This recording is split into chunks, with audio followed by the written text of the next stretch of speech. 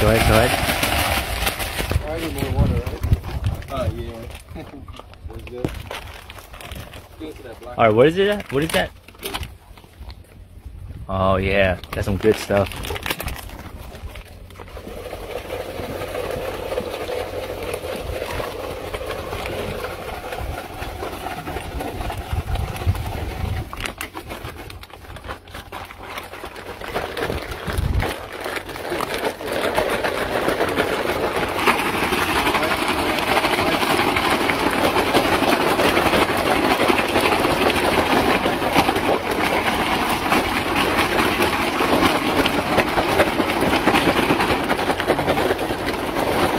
Hell yeah.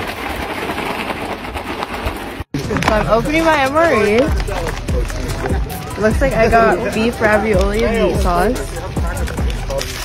This is our main meal, the beef ravioli. And then it looks like we got M&M's. There's chocolate banana nut muffin top. There's always uh, beverage-based powders. This one is tropical punch. Wheat snack bread.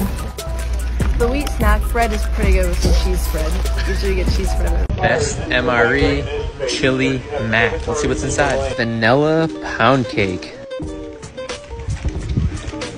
Pound cake. Pretty moist. Fruit punch. Carbohydrate electrolyte beverage powder. Cheese spread with jalapenos. We got vegetable crackers as well. Can never go wrong with a beef teriyaki stick.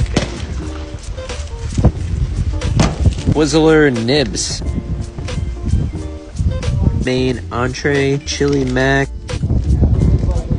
Just made a trade, some peanut butter, bread, and jelly.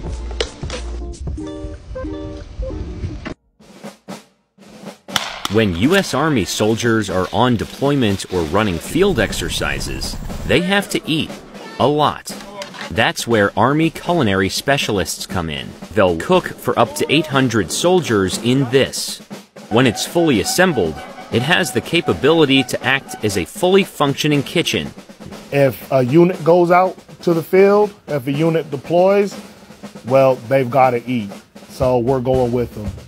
We have the capacity to feed 800 personnel. At any given time, we can have up to three or 400 personnel out here on the grounds. They're going to break down their meals. They're going to identify how many personnel they're actually feeding, and then they're going to actually prepare meals for everybody. When we go to the field, soldiers are tired, they're running through missions, they're running through lanes, and then when they see you, it's almost like they're not tired no more because they got food, they got nice, hot chow, and it's, it's just the most motivating thing.